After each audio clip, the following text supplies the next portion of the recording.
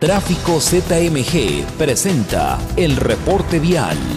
Al momento, tráiler volcado en Avenida México y Cloutier, la vialidad es muy complicada en este punto y lento avance en Periférico Poniente desde Valdepeñas hasta 5 de mayo, al igual que en Ávila Camacho entre la Normal y Patria. Vialidad muy complicada en circunvalación desde Normalistas hasta la Glorieta a Colón, así como en López Mateos entre Américas y Plaza del Sol. La temperatura continúa en 12 grados centígrados y el cielo presenta nubes dispersas. Evita prisas anticipando tu salida. Yo soy Guadalupe Martínez con el reporte vial. Tráfico ZMG presentó el reporte vial.